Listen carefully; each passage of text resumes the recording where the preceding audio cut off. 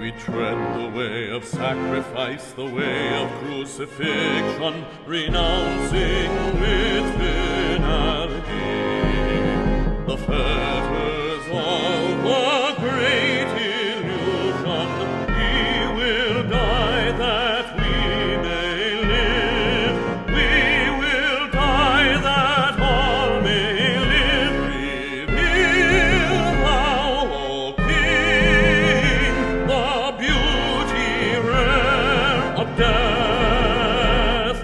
tread the way of martyrdom, the way of immolation, forswearing with finality.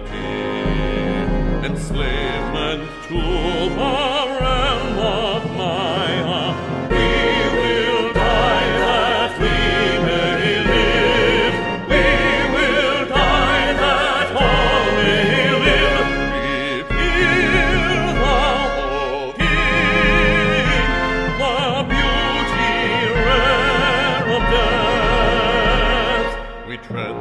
path of torment to the rending of the veil. We tread the path of anguish to the life that cannot fail. We tread the path of victory to one the highest master's